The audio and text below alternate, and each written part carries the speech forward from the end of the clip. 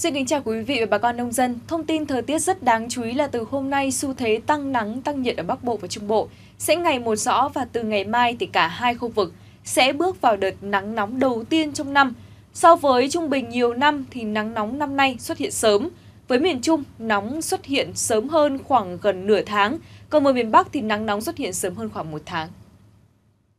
Theo dự báo, từ ngày mai 22 tháng 3, khu vực đồng bằng Bắc Bộ, các tỉnh Sơn La, Hòa Bình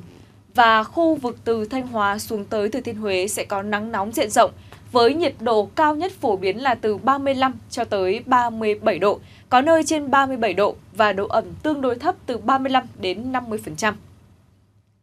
Còn lại các nơi khác ở Bắc Bộ và khu vực từ Đà Nẵng đến Phú Yên có khả năng xảy ra nắng nóng cục bộ với nhiệt độ cao nhất phổ biến từ 34 cho tới 36 độ, có nơi trên 36 độ và độ ẩm thấp nhất từ 45 đến 55%. Còn ở phía Nam, hôm nay đến 2 ngày tới, khu vực miền Đông Nam Bộ cũng tiếp tục xảy ra nắng nóng với nhiệt độ cao nhất trong ngày, phổ biến là từ 34 cho tới 36 độ. Độ ẩm tương đối thấp từ 45 cho tới 55%.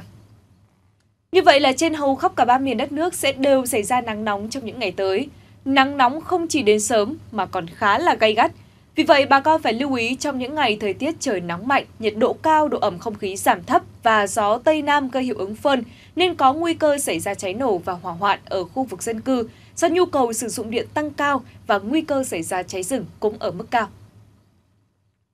Ngoài ra, nắng nóng còn có thể gây tình trạng mất nước, kiệt sức, đột quỵ do sốc nhiệt đối với cơ thể người khi mà tiếp xúc lâu với nền nhiệt độ cao. Vì vậy mà bà con cần phải sắp xếp thời gian làm việc hợp lý, tránh lúc nắng gắt, trang bị đầy đủ mũ, nón để che nắng và tăng cường uống bổ sung nước thường xuyên.